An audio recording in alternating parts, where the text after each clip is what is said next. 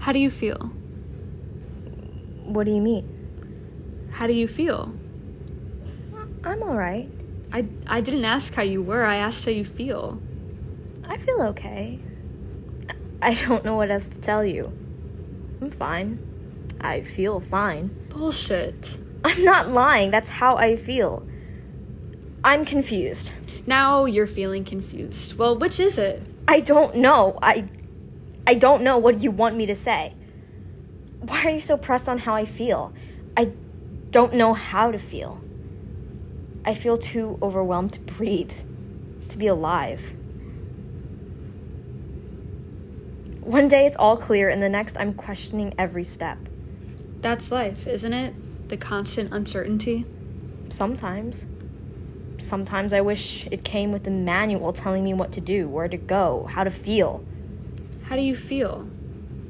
How do you think I feel? I don't know. That's why I'm asking. It's okay to not know. But what if I don't even know anymore who me truly is anymore?